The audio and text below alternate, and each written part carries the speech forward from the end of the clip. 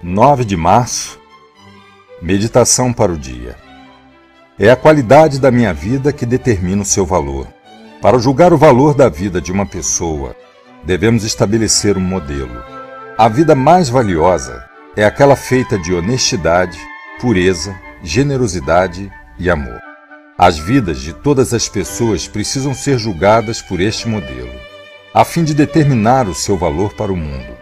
Por este modelo, Muitos dos assim chamados heróis da história não foram grandes homens. O que adianta um homem se ele ganhar o mundo inteiro, se ele vier a perder a sua própria alma? Oração para o dia. Rogo para que eu seja honesto, generoso e amoroso. Rogo para que eu faça, de acordo com estes modelos, com que a qualidade da minha vida seja boa.